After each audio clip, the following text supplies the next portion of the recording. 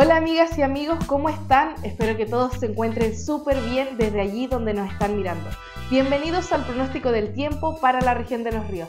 Vamos a ver qué es lo que nos espera para los siguientes tres días.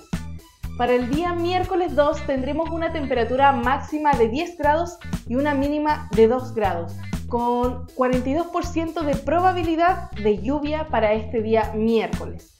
La humedad que se espera estará entre 84 y 86% y la velocidad del viento se espera entre 9 a 11 kilómetros por hora. Para el siguiente día, jueves 3, habrá una temperatura máxima de 11 grados y una temperatura mínima de 2, con cielo mayormente despejado para la máxima y cielo parcialmente cubierto para la temperatura mínima. La humedad que se espera estará entre 72 y 92% y la velocidad del viento se esperará entre 9 a 14 kilómetros por hora. Mucho ojo con la recomendación porque las temperaturas quizás van a empezar a disminuir un poquito porque es cierto que cuando no hay lluvia hace un poquito más de frío.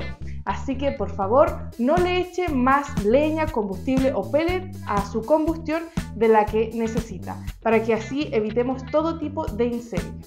Para el siguiente día, viernes 4, tendremos una temperatura máxima de 11 grados y una mínima de 3, con cielo parcialmente cubierto.